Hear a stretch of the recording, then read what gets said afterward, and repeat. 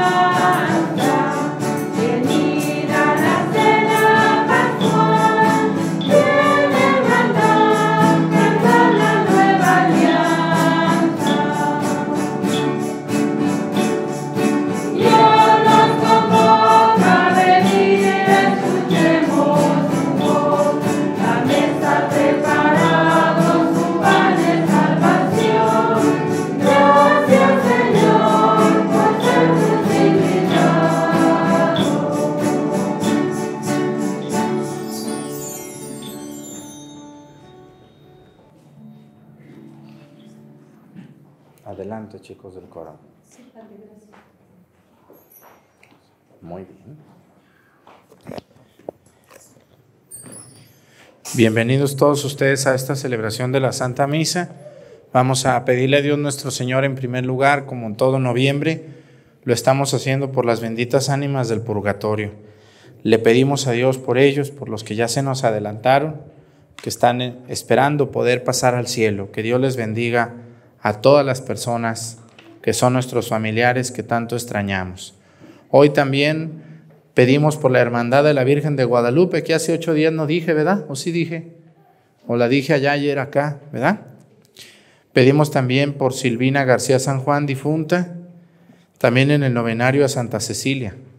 Le pedimos a Santa Cecilia, ahí la tenemos ya lista para su fiesta, ahora el 22 patrona de los músicos. Hoy los monaguillos le cedieron su lugar, ¿verdad? Ahorita, los, ahorita les prestamos una sillita o a ver qué para que se vengan aquí. Perdónenme los monaguillos ahora. ¿eh? Vamos a pedirle a Dios también por Alexis Joan Ávila, Felipa Dircio, Ildefonso Acatitlán, Rosa María Cuamacateco, en su segundo aniversario, Félix Morales, por la promesa al Señor Santiago de Agustín Villanueva, también por la promesa a la Virgen de Guadalupe de Virgilia Chino, por su familia y su trabajo. Quiero pedirle a Dios nuestro Señor por, por todos nosotros, que Dios nos ayude, que Dios les bendiga. Vamos a pedirle mucho por nuestros fieles difuntos en esta misa de noviembre, en el que la iglesia recuerda especialmente a las benditas ánimas del purgatorio. Si se escucha allá afuera, a ver qué me dicen los de allá afuera, ¿sí se oye bien? ¿Sí? Bueno, entonces para que no se me vayan a dormir allá en la puerta. Vamos a comenzar esta misa también pidiéndole a Dios por nuestro país, por tanta gente que nos pide oración. Vieran cuánta gente me pide oración por los que están en el hospital, por los que están en la cárcel, por los que están pasando por pruebas muy complicadas estos días, por las personas que se sienten solos. Hay muchas personas solitas en su casa que se sienten muy solos. Vamos a pedir por ellos, por las personas que, que se sienten defraudadas, tristes, por las personas que están pasando por una enfermedad muy grave. Quiero pedirle a Dios por todos ellos.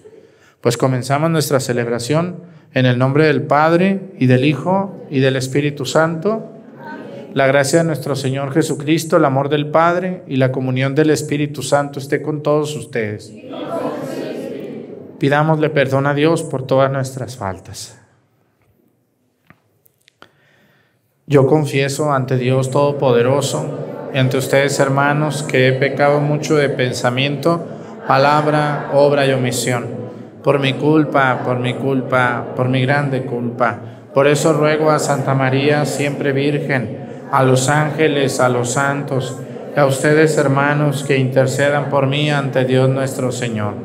Dios Todopoderoso tenga misericordia de nosotros, perdone nuestros pecados y nos lleve a la vida eterna.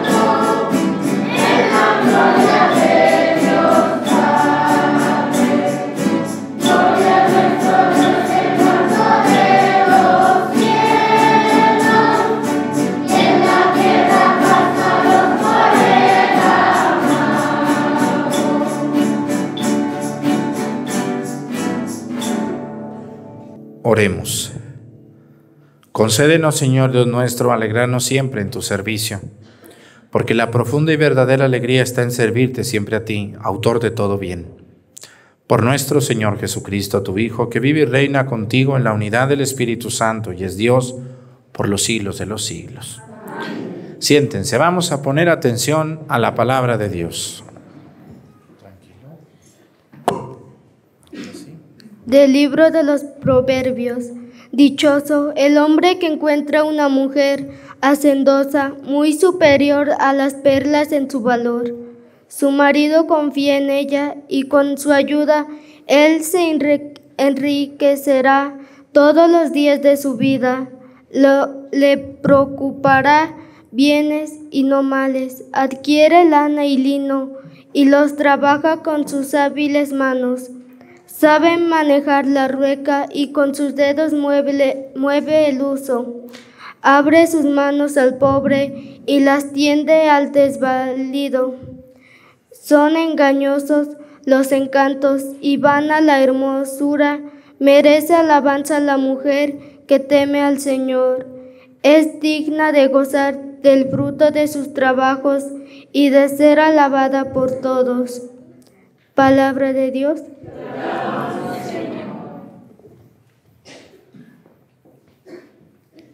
Dichoso el que teme al Señor.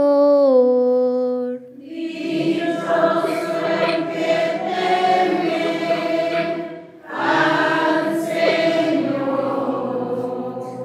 Dichoso el que teme al Señor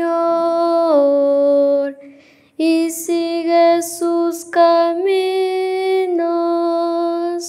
comerá del fruto de su trabajo, será dichoso, le irá bien. Dichoso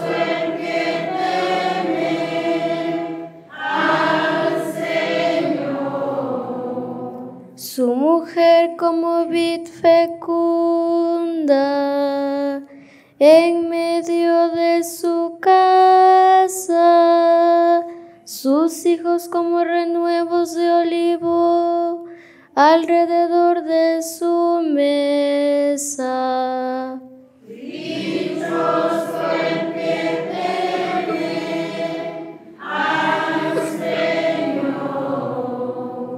Esta es la bendición del hombre que teme al Señor.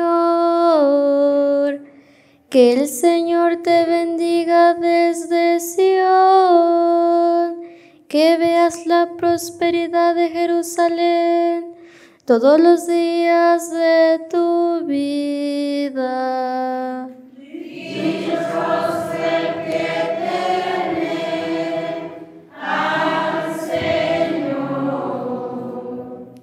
De la primera carta del apóstol San Pablo a los tesalonicenses.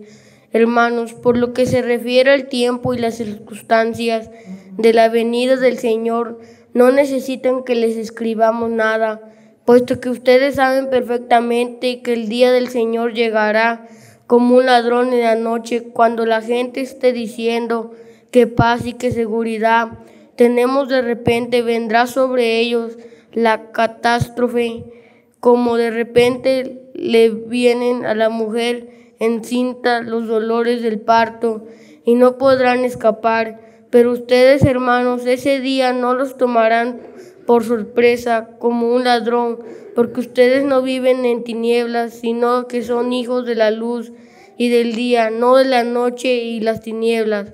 Por lo tanto, no vivamos dormidos como los malos, antes bien, mantengámonos despiertos y vivamos sobriamente. Palabras de Dios.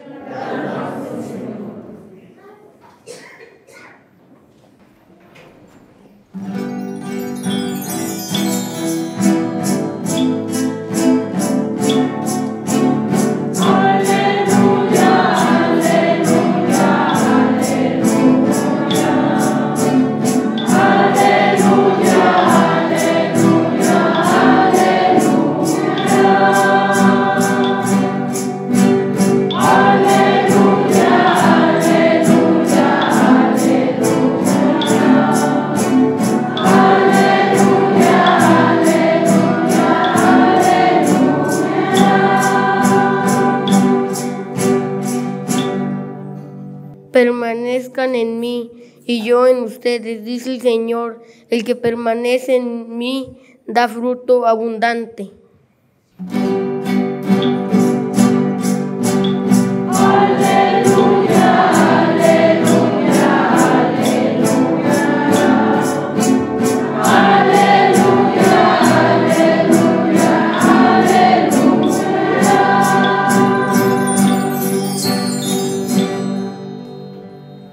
El Señor esté con ustedes.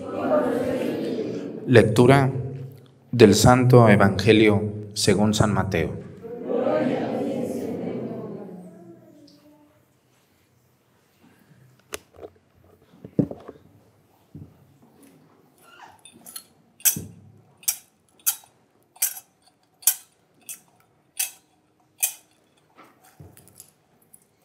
Este este sí está bien así. En aquel tiempo Jesús dijo a sus discípulos esta parábola. El reino de los cielos es semejante también a un hombre que iba a salir de viaje a tierras lejanas. Llamó a sus servidores de confianza y les encargó sus bienes. A uno le dio cinco millones, a otro dos y a un tercero uno, según la capacidad de cada uno, y luego se fue. El que recibió cinco millones fue enseguida a negociar con ellos y ganó otros cinco. El que recibió dio dos, hizo lo mismo y ganó otros dos. En cambio, el que recibió un millón hizo un hoyo en la tierra y allí escondió el dinero de su señor. Después de mucho tiempo regresó aquel hombre y llamó a cuentas a sus servidores.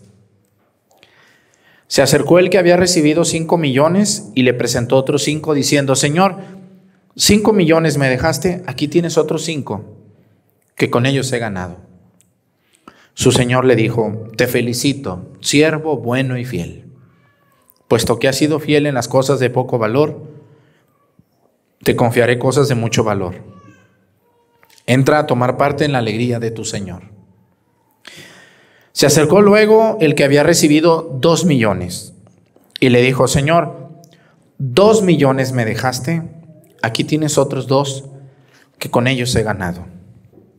Su Señor le dijo, te felicito, siervo bueno y fiel. Puesto que has sido fiel en las cosas de poco valor, te confiaré cosas de mucho valor. Entra a tomar parte en la alegría de tu Señor. Finalmente se acercó el que había recibido un millón y le dijo, Señor, yo sabía que eres un hombre duro, que quieres cosechar lo que no has sembrado y recoger lo que no has plantado. Por eso tuve miedo y fui a esconder tu millón bajo tierra. Aquí tienes lo tuyo. El Señor le respondió, siervo malo y perezoso. Sabías que cosecho lo que no he plantado y recojo lo que no he sembrado. ¿Por qué entonces no pusiste mi dinero en el banco para que a mi regreso lo recibiera con intereses? Quítenle el millón y dénselo al que tiene diez. Pues el que tiene se le dará y le sobrará, pero al que tiene poco se le quitará aún eso poco que tiene. Y a este hombre inútil, échenlo afuera, a las tinieblas Allí será el llanto y la desesperación. Palabra del Señor. Siéntense, por favor.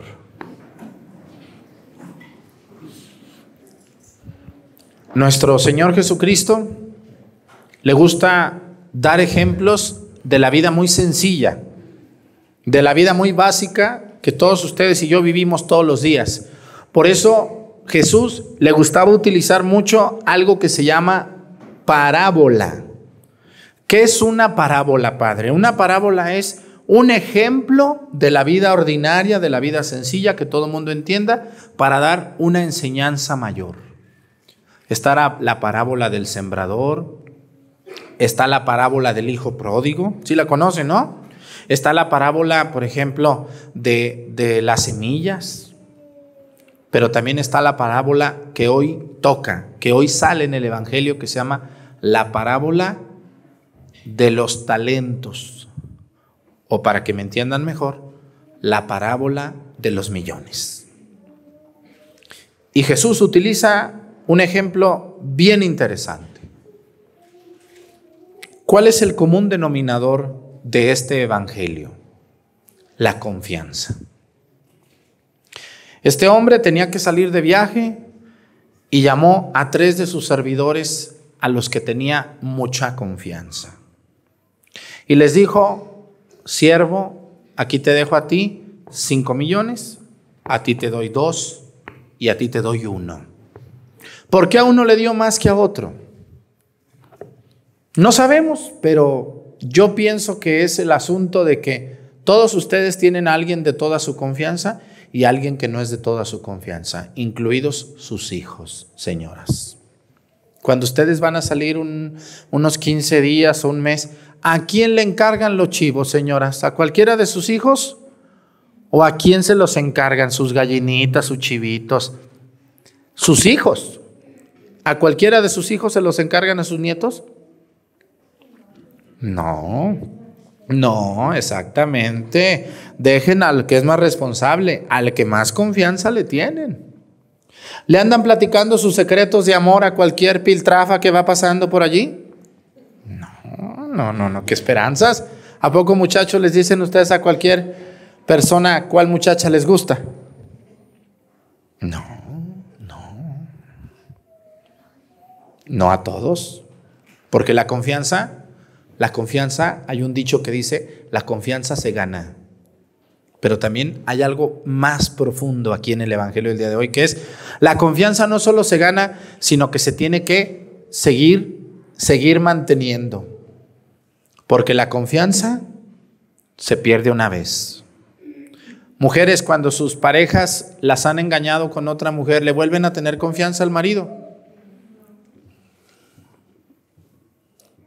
Señores, cuando su mujer los engañó con otro, ¿le vuelven a tener confianza a su esposa? Qué difícil es volver a tener confianza.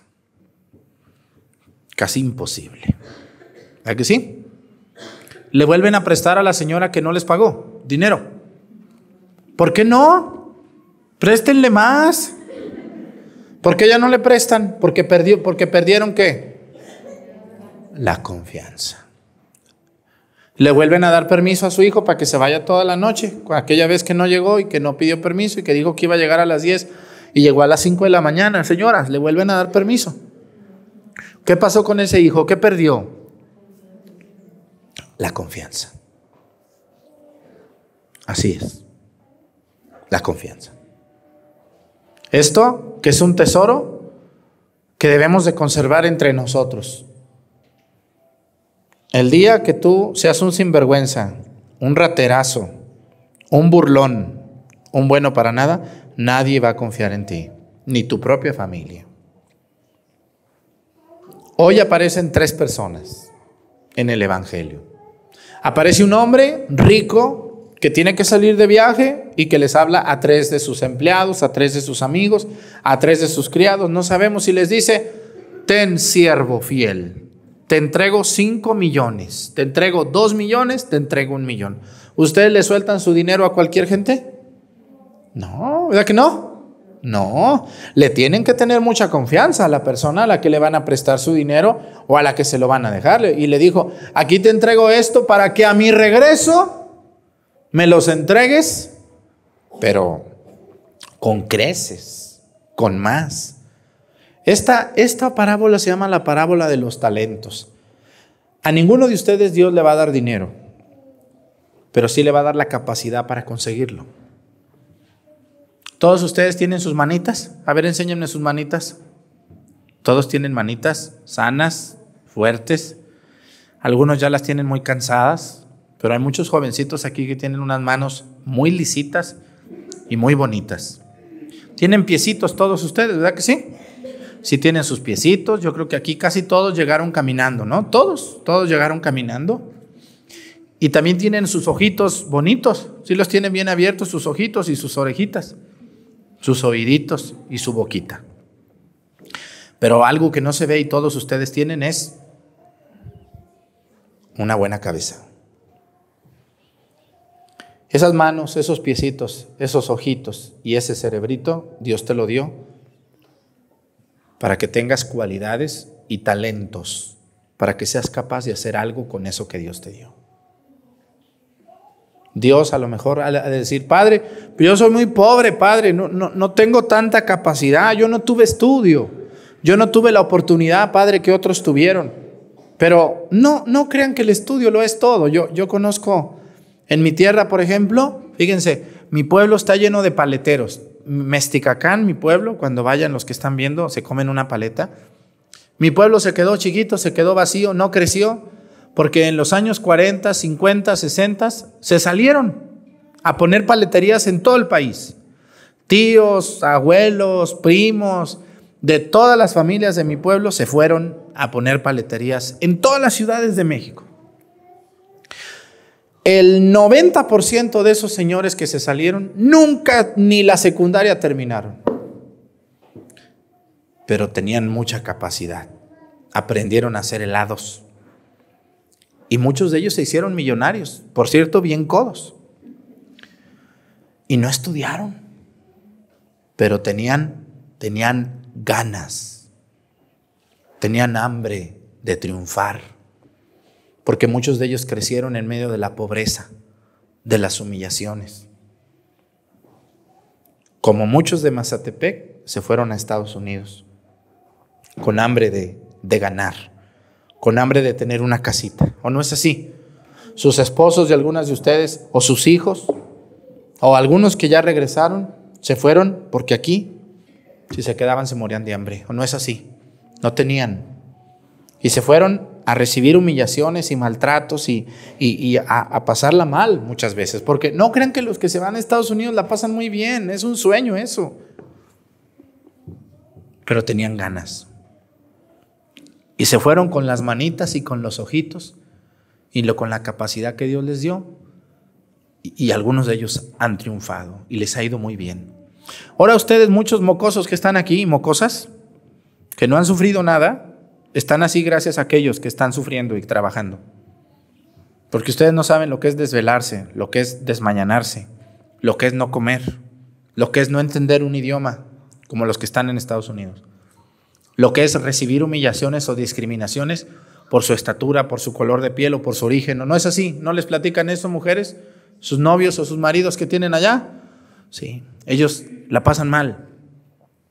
Pero Dios les dio 5 millones o 2 millones o un millón. Esto no se refiere al dinero, se refiere a la capacidad. Ahora ustedes, muchos de los que están aquí no han sufrido y no saben lo que es sufrir, porque cada ocho días llegan los dolaritos, ¿verdad que sí? Cada ocho días va la mamá a cobrar dinerito para que el muchachito engorde más, engorde más, y algunos sean muy buenos y otros sean muy inútiles. Ojalá que sean más lo primero que lo segundo. Y aquí quiero llegar a algo. Todos ustedes y yo también somos buenos para algo, buenas para algo. No se sientan mal, ni se comparen con el otro, porque ese es el peor error que cometemos los seres humanos, compararme, medirme contigo. Porque cuando ustedes se midan con los demás, van a cometer el grave error de sentirse menos o de sentirse más. No debemos de medirnos con los demás. Cada uno de ustedes es diferente. Cada uno de ustedes se puede parecer a su tío, a su papá, a su mamá, a su hermano, pero no son idénticos. Ninguno de ustedes es idéntico al otro. Volteenlos a ver a los de al lado y digan, no, pues yo no tengo esa cara tan fea. O, o yo no estoy tan guapo como este, ¿verdad? Somos distintos. Y el que es bueno para tocar la guitarra, a lo mejor para sembrar no es bueno. Y el que es bueno para sembrar, a lo mejor para bailar es muy malo. Y el que es bueno para limpiar, la mujer que es muy hacendosa es muy mala para cocinar. Y a lo mejor la que es muy buena para cocinar no sabe planchar. Y así podemos irnos de persona en persona. A todos Dios nos dio la capacidad de algo. Debemos de descubrir cuáles son esos cinco millones o esos dos millones que a mí Dios me dio y por ahí darle. Nunca, señoras, deben de comparar a sus hijos. Ese es un grave error que trauma a los niños. Nunca le deben de decir, mira, deberías de ser como tu hermano fulano. No, no, no, eso no se hace. Cada chamaco es distinto. Y a lo mejor el primero es muy bueno para el estudio, pero no sabe desgranar maíz. Pero el segundo es muy bueno para el campo, le gusta, sabe criar chivos y le gustan los animalitos y, quiere poner sus, sus, vaquitas y la mamá, no, yo quiero que estudies. Pues déjalo que termine su prepa, ya si no quiere estudiar, pero ya terminó su prepa. Mi hijo, ¿qué quiere usted hacer? Pues yo soy bueno para las vacas, mamá. Préstame un pedazo de terreno. Muy bien, mi hijo. Adelante. Si tú quieres ser un ganadero, adelante, mi hijo. ¿Usted quiere ser licenciado, mi hijo? Adelante.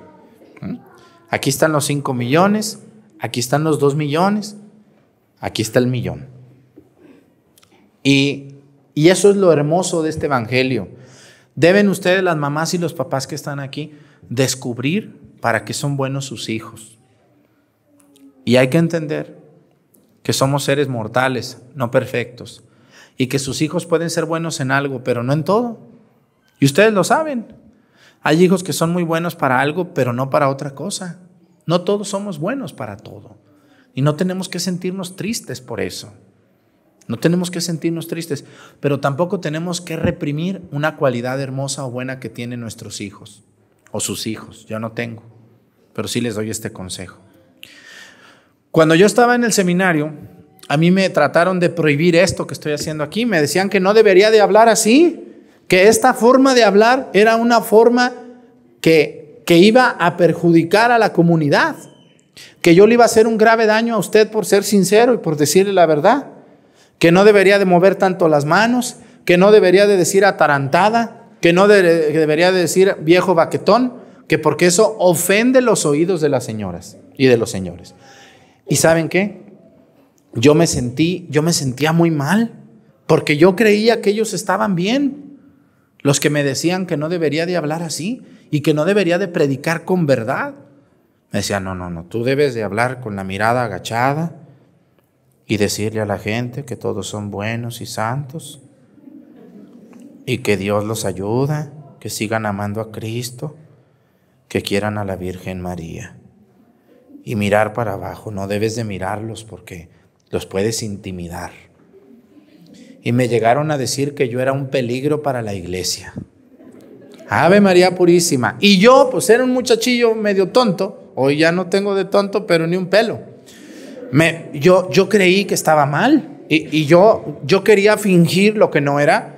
Pero llegaron otros sacerdotes muy buenos después que me dijeron, no, no, no, no, no, no, Arturo, por ahí es lo tuyo. Tú eres bueno para eso. Predica con verdad enseña con verdad y regaña con verdad si es necesario, pero también felicita. Dios, a todas ustedes, señoras, aunque, aunque no tienen estudio algunas de, aquí de Mazatepec, no saben leer. ¿Quién no sabe leer de aquí de Maza? A ver, no les dé vergüenza eso. Varias no saben leer. Pero ¿qué tal saben contar los billetes sus abuelitos o no saben? Según no saben leer, pero ¿qué tal los billetes? ¿Sí los conocen o no los conocen? Clarine, no, si nomás se hacen que no entienden, pero sí entienden. A lo mejor Dios no les dio la capacidad o la posibilidad de leer. Pero señoras, ¿qué tal les queda el mole verde que hacen luego con semillitas molidas que me dan y que está bien bueno? ¿Quién hace mejor el mole verde, muchachito, los que tienen abuela? ¿Su abuelita, la que no estudió nada, o su tía, la que estudió? ¿Quién hace más bueno el mole? La que no estudió, pero no estudió. ¿Quién hace más buenas las tortillas? A veces las que no estudiaron.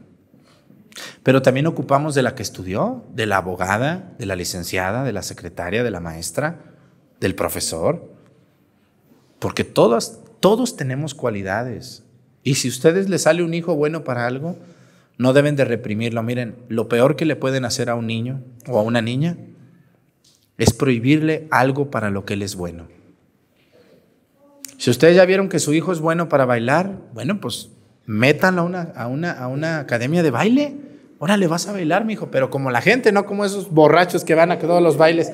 Eso no es bailar, viejos borrachos, nomás andan ahí brincando, ahí parecen como unos títeres, ¿sabe qué parecen? Viejos borrachos y otra, una que otra borracha que se les pega. Eso no es cualidad. Pero el, ballet, la danza artística, sí. Oye, mi hijo es bueno para cantar, lo voy a llevar a, a, grupo. Que quiere una guitarra, se la vamos a comprar y que venga con los del coro. ¿A poco ustedes nacieron con guitarra?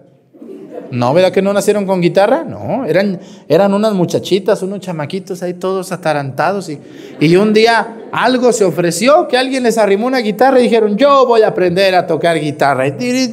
Y no sabían, y hoy, hoy saben, hoy son expertos en la guitarra. Pero nadie nació con guitarra. Nadie nació con botines para bailar. Nadie nació con un cerebro capacitado para ser abogado, licenciado. No, todo esto va llegando. Por eso debemos de buscar en qué somos buenos. Algunos son muy buenos para algunas cosas, otros para otras. Y algunos a lo mejor para alguna poca, pero, pero aún Dios así te quiere. Y aquí viene lo duro del Evangelio. Dios le dio a uno cinco, a otro dos y a otro uno y se fue. Y regresó y le dijo, ven para acá tú al que te di cinco, ven. ¿Qué hiciste con los cinco millones que te di? ¿Qué es esto? El juicio. ¿Sabían ustedes que vamos a ser juzgados? ¿O quién de ustedes tiene el pase al cielo? Yo me acuerdo mucho de una frase que mi padre en paz descanse, yo, yo platicaba mucho con mi papá, todos los días hablábamos por teléfono. Y cuando hablábamos de un muerto, por ejemplo, que salía un tema ahí de que no, pues fulano, que ya se murió. Luego, luego mi papá decía, ya está juzgado ya está juzgado. Yo siempre escuchaba esa frase, ya está juzgado.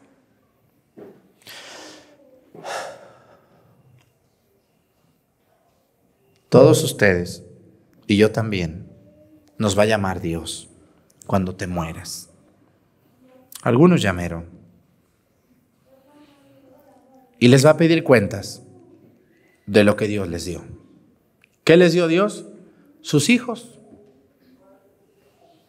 Te di cinco hijos. ¿Qué hiciste con estos cinco hijos? Te di tres. Te di diez. Porque los hijos son un regalo de Dios. ¿Cuántas personas sabemos que no pueden tener hijos por, por motivos X? Pobrecitas de esas personas. Yo, yo, cómo me da tristeza cuando me dicen, padre, yo quisiera tener un hijo y no puedo, soy infértil. Qué tristeza para ellos, ¿no? Qué tristeza, pobrecitos. Qué duro, qué duro darle un consejo a alguien que no puede tener hijos. Y cuando yo veo esos casos digo, no cabe duda que un hijo es un regalo de Dios. Pero es un millón que a ustedes les dio Dios. ¿Cómo les va a ir cuando les pida cuentas Dios? ¿Qué tal? ¿Ya están preparados? Con esos hijos que tienes tan tranzas, tan mal hablados, sin Dios, viviendo en adulterio. Ay, Dios mío, ¿por qué creen que yo no quiero hijos? No, no, pero ustedes sí tienen hijos. Dios les va a pedir cuentas de sus hijitos. Ay, Dios mío de mi vida. ¿Eh? A muchos de ustedes les llegó una herencia que no merecían o que no esperaban. Un rancho, una casita, un dinerito. ¿Qué hicieron con eso que Dios les dio? A muchos de ustedes Dios les dio estudio, les dio capacidades formidables, buenísimas. ¿Qué hicieron con eso que Dios les dio? Padre, y usted nomás habla. No, también a mí Dios me va a llamar a cuentas y me va a decir, a ver, yo te hice sacerdote, ¿qué hiciste con eso que te di? ¿A cuánta gente ayudaste? ¿En qué los ayudaste? ¿Qué hiciste como sacerdote? También a mí me va a llamar a cuentas y así me va a ir. ¿Ustedes creen que al Papa no lo va a llamar a cuentas Dios cuando se muera? ¿Y se va a ir derechito al cielo el Papa? ¿A los obispos los va a llamar a cuentas a los obispos? Claro que sí. Y también ellos tienen que dar cuentas de lo que hicieron con lo que Dios les dio. Y también a los curas, y también a las monjas, y también a ustedes. ¿Y qué va a pasar? ¿Se fijaron en el último del que no les he hablado? Nomás les he hablado del de los 5 millones y del de los 2 millones que dijeron, Señor, tú tuviste confianza en mí, porque Dios tiene confianza. Dios tiene confianza en ustedes, les mandó a un hijo, a dos, les mandó dinero, les mandó la capacidad, porque Dios confía en ustedes. Y esa confianza que Dios les tiene, debemos de ser agradecidos porque, Señor, gracias que me diste esta cualidad, que me diste estos dones, que me diste esta fortaleza que tengo para poder hacer las cosas. Qué precioso sentirme consentida de Dios o consentido. Porque Dios nos va a llamar a cuentas. Por eso dice que le dio los 5 millones o los 2, pero luego volvió. No les dijo, ay, que Dios los bendiga, ay, gástenselos. No, no, no, no, no. Se los dio para que los cuidaran y les dijo, ¿qué hiciste con los 5 millones que te di? Le dijo, aquí tienes otros 5, Señor. Ratificó la confianza. Yo como sacerdote les voy a decir, yo no puedo estar encargándome del templo de Pochahuisco, no puedo estar ahí 24 horas.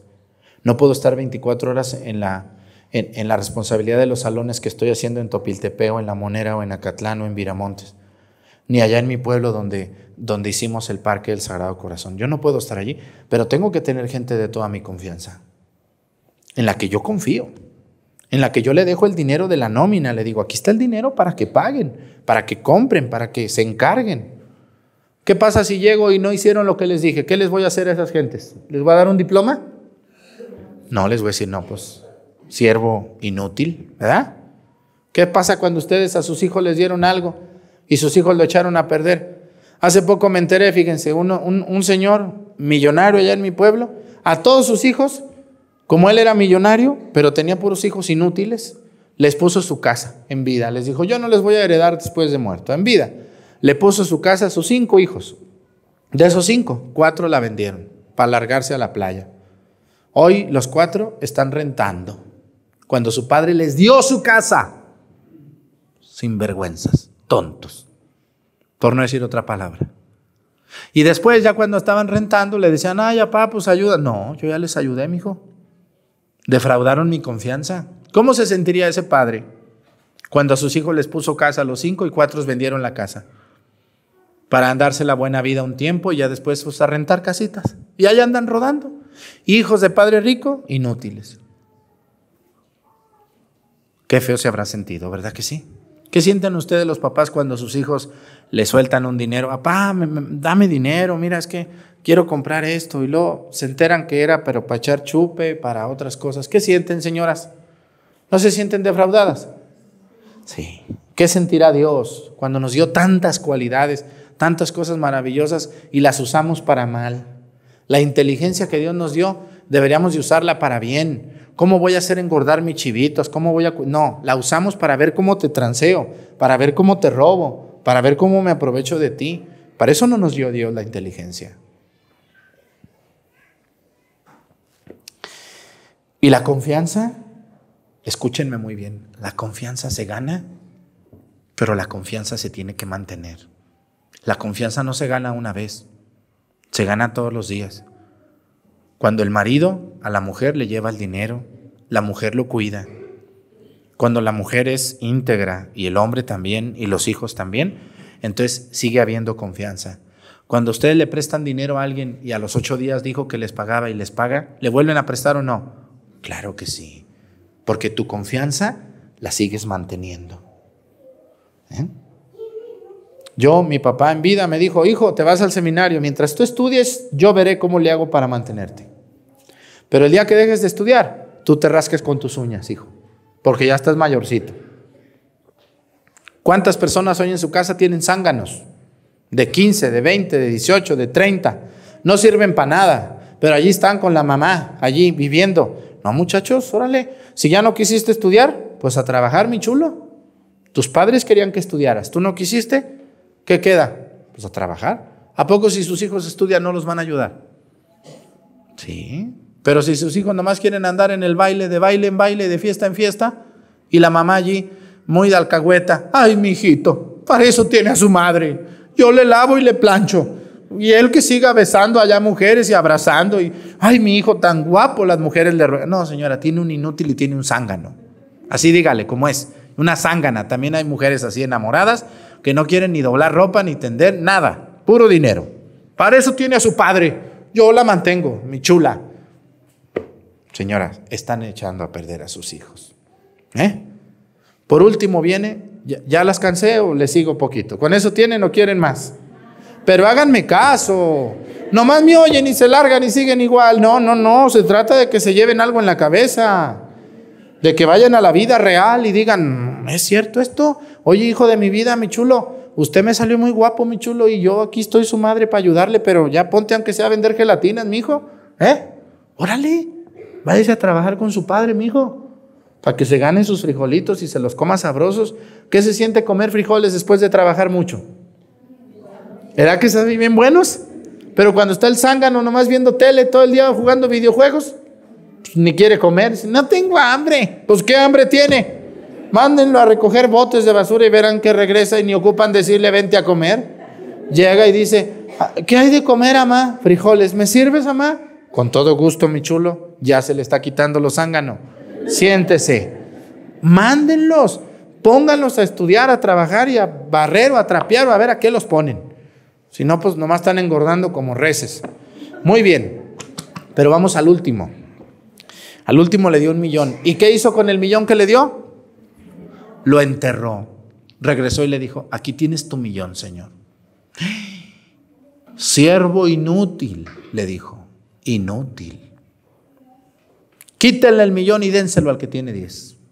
Y este, mándenlo al lugar del castigo. Dios les va a pedir cuentas de sus cualidades, de lo que Dios les regaló. A muchos de ustedes Dios les dio capacidad, les dio dinero, les dio talentos. Hay que ponerlo a trabajar. Cuando ustedes y yo nos muramos, que lleguemos a la presencia de Dios y digamos, Señor, tú me diste cinco hijos, de los cinco, cuatro me salieron bien, pero con uno no pude. Discúlpame, le eché ganas, ayudé a mis prójimos. Mira, Señor, tú me diste la capacidad de ser doctor y yo me acuerdo, hace poco fui con un doctor que yo voy allá en, en un lugar de La Mancha. Es un doctor internista muy bueno con el que he ido algunas veces. Y luego le digo, doctor, si no me cobra ya no voy a venir. Dice, no, pues no venga, no, pero sí ocupo venir, pero cóbreme pues la mitad, aunque sea de lo que cobra. Dice, no, padre, dice, yo, mm, es muy católico, me dijo. Dice, padre, mire, no puedo regalar mi trabajo porque tengo que mantener a mi familia. Pero de 10 consultas que doy al día, dos las regalo. Y es algo que yo disfruto. Cuando me llega a mí una madre soltera, una viuda, un viejito solo o un niño con una madre solita, no le cobro.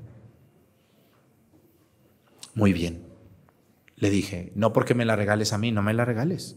Yo te puedo pagar gracias a la gente que me quiere y me da. Pero te felicito. El día que tú te mueras y llegues allá, Dios te va a decir, muy bien, doctor, a ti te di esa capacidad y tú ayudaste a los pobres. Todos ustedes, Dios les dio capacidades bien, bien hermosas. Yo, por ejemplo, admiro las mujeres que hacen tortillas, le salen bien redonditas, ¿será que sí? Y parecen máquinas, ya ni ven la tortilla, nomás hacen la bolita y la avientan, la aprietan, la agarran y ahí están, ya ni se queman. Yo me quemo, me, quedan las, tortillas, parecen guaraches, así todo. No puedo. Y, digo, mira estas señoras con qué gusto hacen sus tortillas, con qué, con qué fe, ¿no? Y luego me da tanto gusto. Cuando yo era niño en mi pueblo hacían las mujeres tortillas a mano, hoy ya se hicieron flojas, ya pura tortillería. Pero yo me tocó ir por las tortillas. De niño mi mamá me mandaba, ve con doña fulana a comprar. Doña Silvina hacía tortillas, era mi vecina. Y yo iba y me caía tan bien doña Silvina. Yo era un niño y pues no, nunca tenía dinero, pues mis papás no me daban dinero. Pero yo llegaba con doña Silvina y estaba haciendo las tortillas y me decía, ándale Arturito, agárrate una tortilla. Si quieres te pongo mantequita. Sí. Y ya me, me echaba mantequita y luego le echaba salecita y yo me la comía con aquel gusto. Y llegaba otro niño también por tortillas y lo mismo. A todos los que éramos niños nos daba una tortilla con manteca y con sal. Todos, a todos los niños. Y ya era una señora bien pobre. Yo cuando se murió dije, mm, doña Silvina, tan buenas tortillas que hacía, tan buena gente que era conmigo, ella. Que Dios la haya perdonado y que esas tortillas regaladas, Dios se las tome en cuenta. Fíjense, hasta darle una tortilla, ¿eh? ofrecer mi trabajo. ¿Cuántos de ustedes vean cuántas muchachas de aquí de, de Mazatepec son bien buenas, bien inteligentes y ninguna de ustedes quiere ser catequista? Nomás tenemos dos catequistas de Mazatepec. ¿Cuántas de ustedes pudieran ser unas excelentes catequistas? ¿Cuántos de ustedes pudieran leer las lecturas, pudieran pertenecer al coro y no quieren?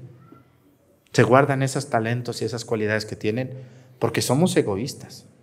Así es la palabra. Así que yo les invito de todo corazón, las cualidades que Dios les dio, muchas o pocas, hay que ponerlas al servicio de los demás. Aunque sea una tortilla, como doña Silvina. Aunque sean buenos días. Aunque sean buenas tardes. Aunque sean cacahuates los que tú puedas regalar. ¿Mm? Me van a comprar un chivo para la fiesta de San Lucas o de Santa Cecilia. Yo le regalo otro. ¿En serio? Sí. Este año tuve 40 chivos. Mis chivas son muy enamoradas. Tuvieron 40 chivitos. No me cuesta nada regalar uno. Yo también puedo ayudar. Yo también quiero ayudar. Muy bien. Siervo bueno y fiel. Fíjense qué bonitas palabras. Cuando ustedes se mueran, yo espero estar sentado en la silla de los acusados y que me diga el Señor, siervo bueno y fiel, pásate, pásate. Pásate, porque te di cinco millones y aquí me trajiste otros cinco. Yo cuando me muera quiero llegar a la presencia de Dios y decirle, Señor, por lo menos hicimos el templo de Pocha, ¿cómo ves? A ver si de algo me sirve eso. ¿Eh? ¿Eh? De algo me va a servir. Y también a ustedes los que han ayudado y trabajado. Échenle ganas. Hagamos algo por los demás, por la gloria de Dios. No nomás vengamos a oír misa y ya nos largamos y seguimos igual. Algo, algo puedo dar yo. Yo, yo soy pobre, padre, pero viera qué buenos me quedan los tamales. Nejos, padre. ¿Verdad? Los tamales de guerrero tan buenos, de nejos, ¿sí? ¿Son los de frijoles o no? ¿Sí son los nejos los de frijoles o los de qué son? ¿O de, o de chícharos? ¿Cuáles son? Los de frijol negro, tan ricos. Yo no soy, no tengo dinero, padre, pero yo coopero con mis tamalitos. Felicidades a toda la gente buena que da algo. Ánimo muchachones, los jóvenes pueden hacer algo por los demás y siempre se acordarán de ustedes cuando ayuden a alguien. Yo me acordé de doña Silvina por unas tortillas con mantequita que me daba. Nunca se me olvida. Yo era niño, no tenía dinero, aunque mis padres tenían, no me daban. Y agradecía lo que me dieran, como ustedes de chiquitas. Yo estoy seguro que recuerdan a alguna señora o algún señor que alguna vez les invitó una coca. ¿O no? ¿No se acuerdan? Alguna vez ustedes no tenían y le dijo, ten, mija, cómprate un chicle, ten. ¿Quieres unas papitas? Ten.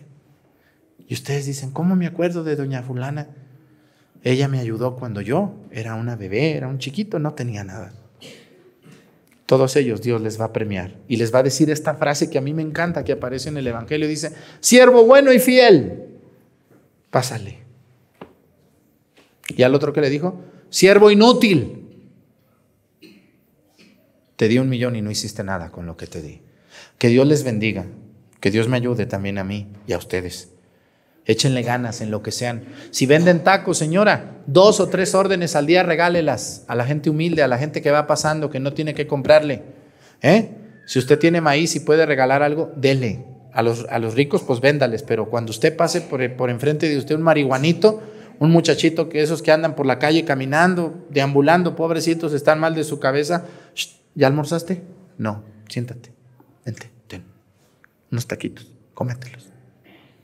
Esos, denles a los que no les puedan pagar y se van a sentir muy bien en su corazón. Que Dios nos ayude, que Dios nos ayude a que nuestros talentos los pongamos al servicio de Dios y al servicio de los demás. Apoyen a sus hijos en lo bueno que sean.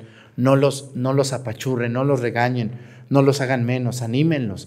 No, no, no, no pisen a nadie, empújenlo, díganle, ah, tú eres, pues órale, mi chulo, aviéntese. No, no, hay que, no hay que aplastar a nadie, hay que empujarlo, hay que aventarlo. Muchos muchachitos lo que necesitan no es un regaño, ni un prohibirles, sino un empujón, aventarlos. Mi hijo, tú eres bueno para declamar. Órale, así empezó el padre Arturo. Yo así empecé, declamando poemas. Yo era bueno para declamar. Y luego discursos. Y ahora doy homilías. Pero así empecé. Por un papá atrás de mí y yo un profesor que me empujaron. No tengas vergüenza. Ándale, Arturo. Yo casi me orinaba cuando daba una poesía, pero no lo hice. Pero me ponía nerviosísimo. Pero lo logré. Porque alguien atrás de mí me empujó, no me aplastó, me empujó. Sus hijos necesitan empujones, no gente que los aplaste. Pónganse de pie. Discúlpenme que ya me tardé. ¿eh? Creo en un solo Dios, Padre Todopoderoso, Creador del cielo y de la tierra, de todo lo visible y lo invisible Creo en un solo Señor Jesucristo, Hijo único de Dios, nacido del Padre antes de todos los siglos. Dios de Dios, luz de luz, Dios verdadero de Dios verdadero, engendrado, no creado, de la misma naturaleza del Padre, por quien todo fue hecho, que por nosotros los hombres y por nuestra salvación bajó del cielo.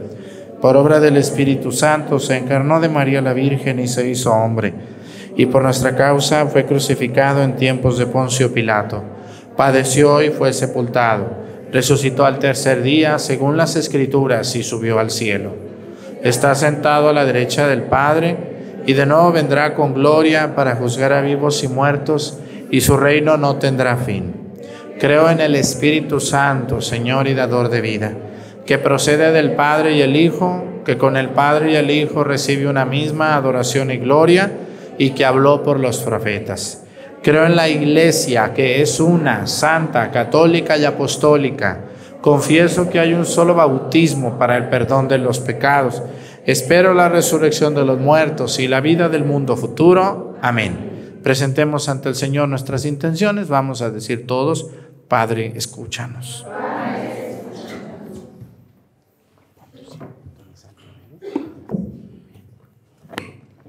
por el Papa, los obispos, presbíteros y diáconos, para que sean buenos administradores del Evangelio y los, y los extiendan por toda la tierra, anunciando el mensaje de la salvación a todos los hombres. Roguemos al Señor. por todos los que gobiernan la tierra, para que el Señor les conceda guiar al pueblo que se les ha encomendado sembrando valores de justicia y paz, y así puedan vivir en un ambiente de armonía entre los hombres. Roguemos al Señor.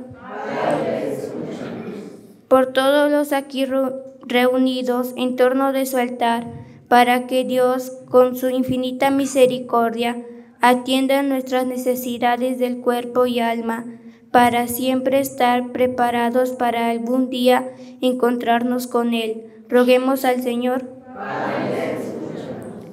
por todo el pueblo de Dios, para que sea fiel a los mandamientos y viva imitando la vida de Cristo aquí en la tierra, y así busquen en todo momento lo que es agradable a Dios Padre.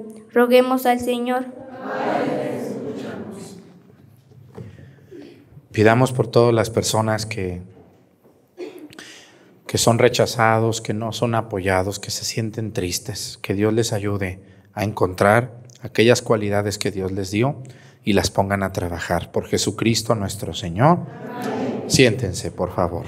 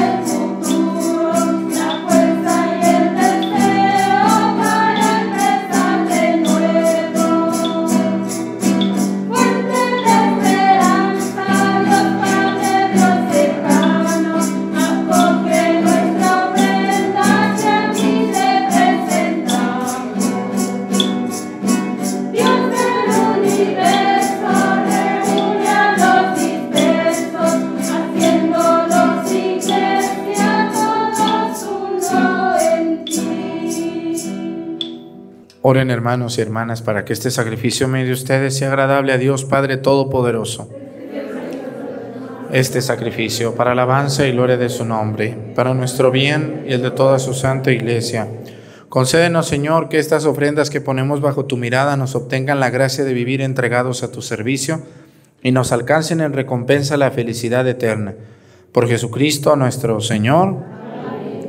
El Señor esté con ustedes. Levantemos el corazón. Demos gracias al Señor nuestro Dios. En verdad es justo y necesario, es nuestro deber y salvación darte gracias siempre y en todo lugar, Señor Padre Santo. Dios Todopoderoso y Eterno, pues quisiste reunir de nuevo por la sangre de tu Hijo y la acción del Espíritu Santo a los hijos dispersos por el pecado, para que tu pueblo, congregado a imagen de la unidad trinitaria, fuera reconocido como iglesia cuerpo de Cristo y templo del Espíritu, para alabanza de tu sabiduría infinita. Por eso, unidos a los coros angélicos, te aclamamos llenos de alegría, diciendo.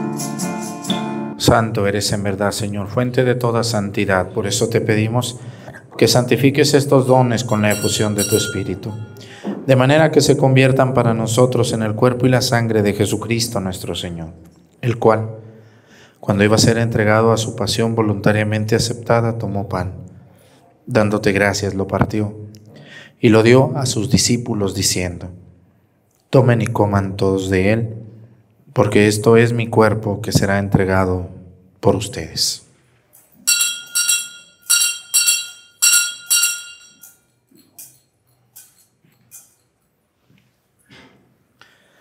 Del mismo modo, acabada la cena, tomó el cáliz y dándote gracias de nuevo, lo pasó a sus discípulos diciendo, tomen y beban todos de él, porque este es el cáliz de mi sangre, sangre de la alianza nueva y eterna que será derramada por ustedes y por muchos para el perdón de los pecados. Hagan esto en conmemoración mía.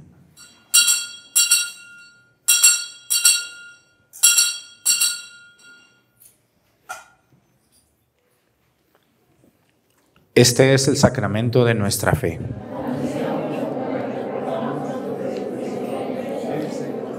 Así pues, Padre, al celebrar ahora el memorial de la muerte y resurrección de tu Hijo, te ofrecemos el pan de vida y el cáliz de salvación. Y te damos gracias porque nos haces dignos de servirte en tu presencia.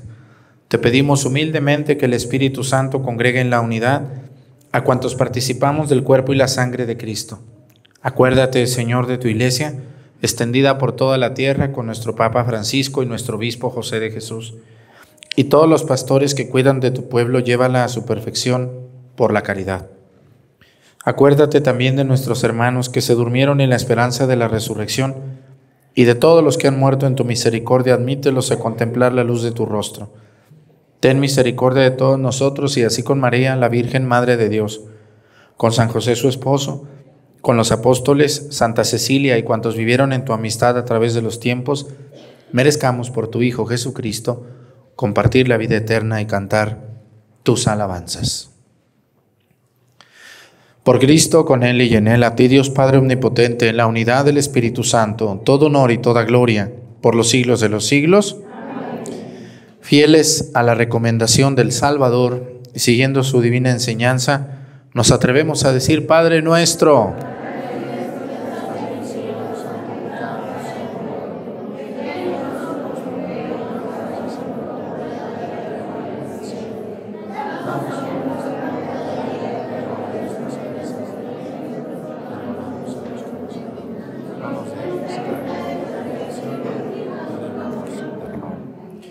Líbranos de todos los males, Señor, y concédenos la paz en nuestros días, para que, ayudados por tu misericordia, vivamos siempre libres de pecado y protegidos de toda perturbación, mientras esperamos la gloriosa venida de nuestro Salvador Jesucristo. Señor Jesucristo, que dijiste a tus apóstoles, la paz les dejo, mi paz les doy. No tengas en cuenta nuestros pecados, sino la fe de tu iglesia, y conforme a tu palabra, concédele la paz y la unidad Tú que vives y reinas por los siglos de los siglos, que la paz del Señor esté con ustedes. Vamos a darnos con nuestra mano un saludo de paz.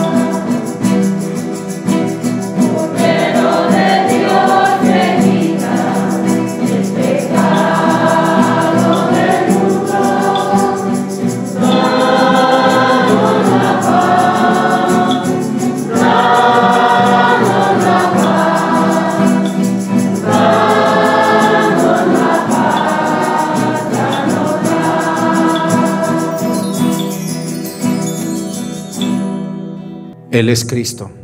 Es el Cordero de Dios que quita los pecados del mundo. Dichosos los invitados a la cena del Señor.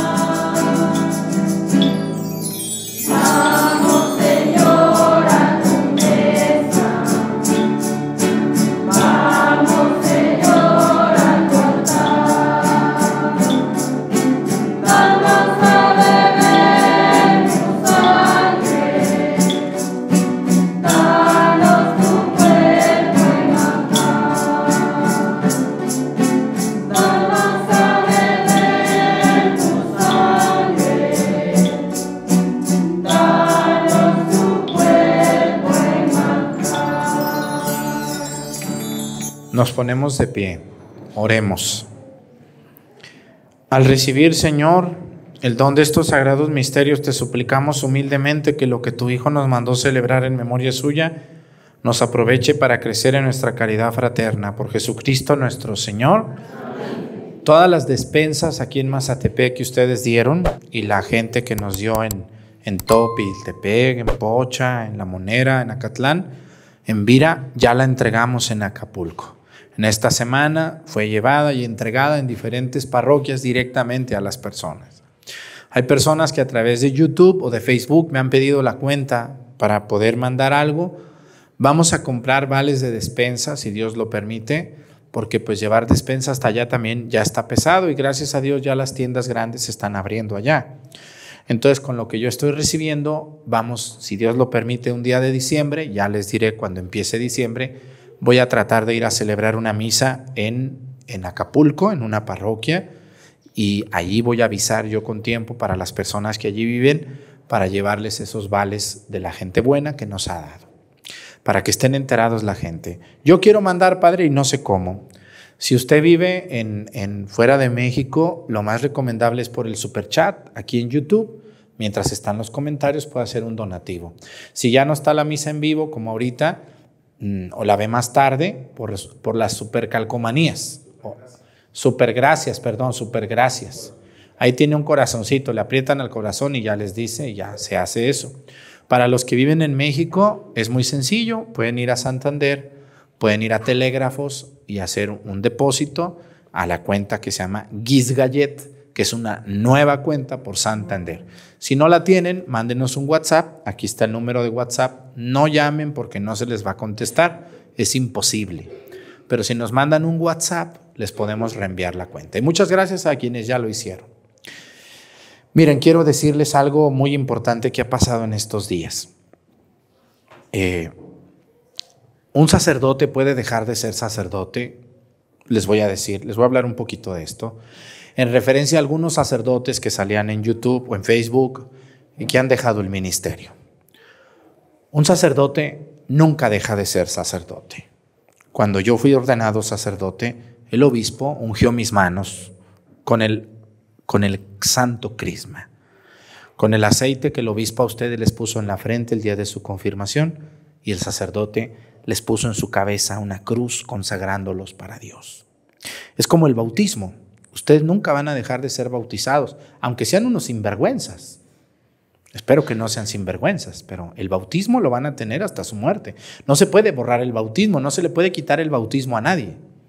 ¿Sí me entienden? No se les puede quitar el bautismo.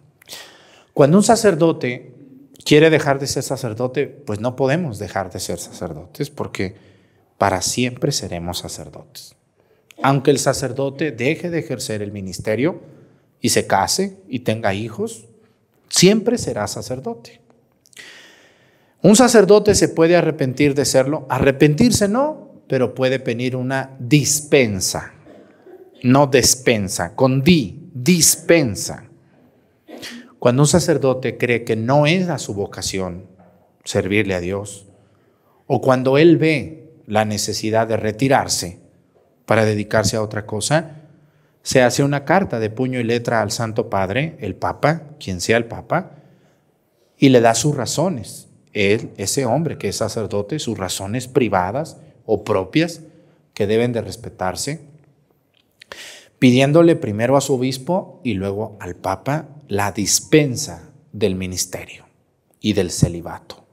O sea, yo soy sacerdote, yo le pido al papa que me dispense, que me dé la dispensa de la obediencia que prometí, del celibato que prometí para servirle a Dios como casado o como soltero, en la vida laical como ustedes.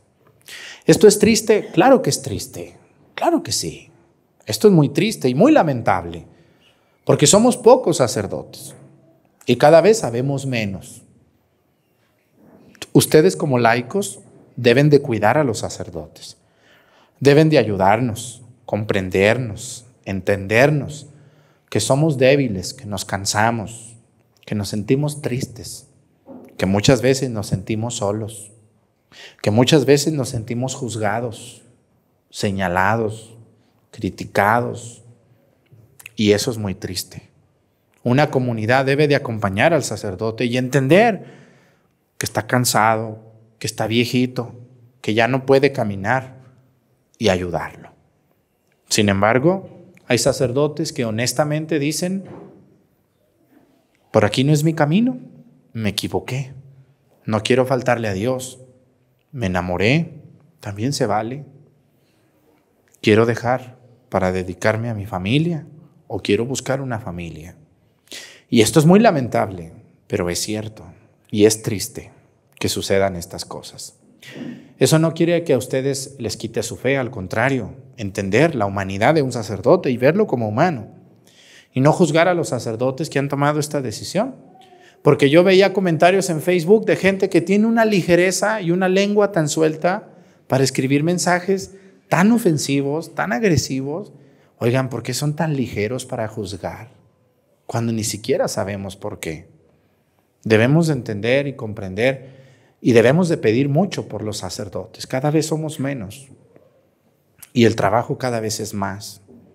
Va a llegar el día que no va a haber sacerdotes. Y yo no sé qué va a pasar. Tenemos que cuidar a los pocos que tengamos. ¿Cuántas personas quisieran tener un sacerdote muy joven en su parroquia? Todo mundo quiere tener padre, pero no hay jóvenes. A veces ni siquiera viejitos hay. Hay que rogar mucho por las vocaciones y comprender a quien ha pedido una dispensa y, apoyarlo y, decir, bueno, pues, pues qué bueno que se arrepintió y no que ande haciendo cosas que no debe, ¿verdad que sí?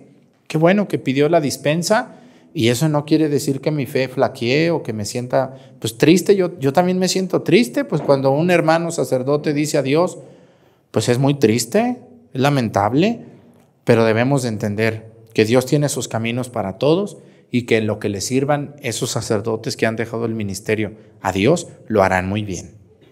Pidan por los que estamos aquí, por los que queremos seguir. Yo yo amo mucho mi sacerdocio, me entrego, pero a veces me canso, me canso mucho. Y cuando esa gente me critica sin conocerme, también me siento triste porque digo, ¿quién es esa señora? ¿Quién es ese viejo para decirme esas cosas? No es ni mi padre ni mi madre, ni pertenecen a mi parroquia. Yo aquí con ustedes en Mazatepec me siento muy bien porque si me critican, pues no me doy cuenta. Y la mayoría me comprende, me saluda, si llego tarde no se enojan más bien los que me echan malos son gente que ni aquí vive, gente que es muy dura con los sacerdotes. Y, y, ustedes quieren que nosotros seamos buenos con ustedes y a veces ustedes son bien mendigos con nosotros. No hay que ser así, hay que comprender. Y pues que Dios les bendiga a esos sacerdotes que nunca dejarán de ser sacerdotes, pero piden dispensa al ministerio, o sea, a, ejercer el ministerio. Cuando un sacerdote deja de ejercer, pues ya no puede bautizar, ya no puede consagrar, solo en peligro de muerte de una persona, pero deja de ejercer el ministerio. ¿Deja de ser sacerdote? No. ¿Deja de ejercer el ministerio? Sí. Ya no puede, ya no debe celebrar la misa ni los sacramentos como un sacerdote ordinario como yo. Que Dios nos ayude y se los digo para que ustedes sepan a lo mejor a lo que me estoy refiriendo. Algunos sacerdotes que salían en YouTube y en Facebook y pues ya no van a salir como sacerdotes. Me da mucha tristeza, ¿verdad? Yo, ¿por qué creen que yo, yo, yo, yo sigo en mi parroquia y le seguiré echando ganas con mis flaquezas, con mis cansancios? Pero aquí seguiré, por lo menos un tiempecito más, ya después dejaré de dar la misa para solo dar la homilía, porque yo también les digo, estoy muy cansado. Estar en las redes sociales no es fácil, ver cómo me roban mis videos, me critican, se burlan de mí, me ponen caras que no son. Eso está muy mal, ¿verdad? Y eso es una burla y es un abuso también. Que Dios les ayude, gracias a los que me ayudan, vamos a seguir adelante porque lo que estamos haciendo es para gloria de Dios. Y les pido una disculpa, esta misa estuvo muy larga. ¿No hay problema o sí hay problema? No, y hay otros que ven la tele y dicen, ay, ya se tardó mucho, pues apáguele, doña, y váyase ya, sea feliz. Señora amargada, viejo loco, apáguele y lárguese ya, váyase. Váyase a ver a Cantinflas o váyase a ver Lucha Libre, a ver qué ve.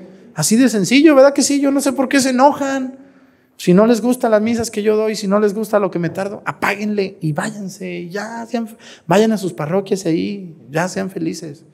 Yo le echaré ganas y ustedes, yo, me, yo los veo con las caras ah, con los ojos, con las ganas de aprender. Y, eso a mí me llena de satisfacción y de alegría, porque al final a mí el obispo me mandó con ustedes. La misa que hacemos pues es para ustedes y de rebote pues para todos los que nos ven, porque también hay mucha gente buena que nos ve. También hay mucha gente, el 90% de la gente que nos ve es gente maravillosa, con un gran corazón y con un gran amor a Dios. Gracias a ustedes, los que comprenden y entienden mi humanidad, mi cansancio y a veces mis regañadonas que les doy. Pero mejor así, ¿no? ¿O se quieren dormir en misa? No, hay que aprender. Bueno, pues el Señor esté con ustedes. Ahorita que termine el canto de salida me esperan para darle unos avisitos breves, por favor. ¿eh? La bendición de Dios Padre, Hijo y Espíritu Santo descienda sobre ustedes, permanezcan para siempre. Hermanos, esta celebración ha terminado, vayamos a hacer vida lo que aquí hemos celebrado. Demos gracias a Dios. Bonito domingo para todos ustedes.